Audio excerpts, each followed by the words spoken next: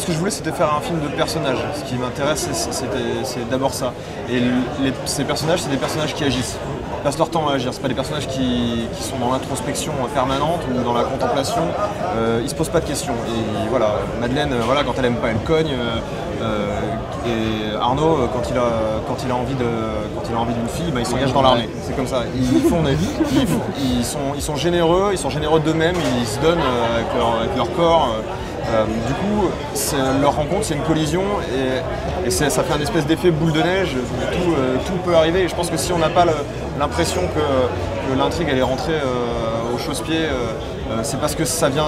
L'énergie du film, c'est eux. C'est eux les moteurs de. Vous avez suivi les personnages, c'est normal que ça devienne fou. Parce que Il faut qu'on les suive résolument à leur hauteur. quoi. On n'est pas en train de les regarder de haut, on n'est on n'est pas en train de, de pousser la fiction pour qu'il se passe quelque chose avec eux, on les suit.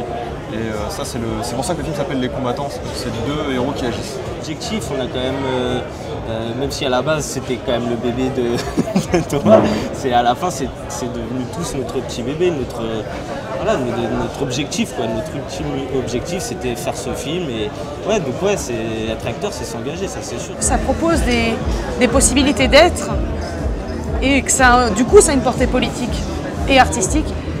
Et c'est en ça que pour moi, c'est du sérieux. C'est que moi, quand je fais un film, j'ai l'impression que je m'engage, genre euh, vraiment, c'est corps et âme quoi, dans le, dans le, parce que parce que ça parle de la liberté, de qui on est. Et de qui on peut être, mais pour nous en tant qu'acteurs, mais pour tout le monde, j'espère que le cinéma ça parle de ça, de gens ah ouais, en fait on peut être ça, en fait on n'est pas obligé d'être ce qu'on est, on est, on, on est plein de choses, on est protéiforme, c'est ça un acteur, c'est juste quelqu'un de qui a distingué euh, le fond et la forme quoi. Il y a une espèce, une de truc essence de genre je suis à peu près ça, mais bon c'est un peu flottant et euh, il y a toutes ces formes qu'on peut prendre. Ça parle de ça, je pense, c'est pour ça que ça parle aux gens aussi.